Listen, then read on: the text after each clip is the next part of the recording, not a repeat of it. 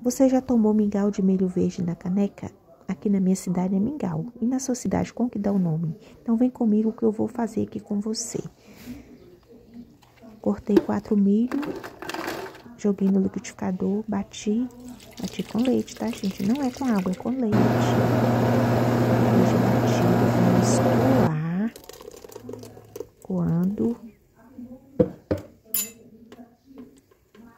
Opa, teve um erro de gravação, porque gravando e fazendo ao mesmo tempo não dá, né? Mas deu certo. Depois arrumei o, o celular no lugar assim e deu certo. Coando o milho, já batido com leite, bem coadinho. Dei uma mexida. Agora vamos levar para panela. Liguei o fogo aí. Ligue o fogo, Dona Maria, para cozinhar. Bem cozidinho. Gente, eu gosto de colocar canela, canela em madeira. E gosto de adoçar também com leite condensado, mas como não tinha leite condensado, foi açúcar mesmo.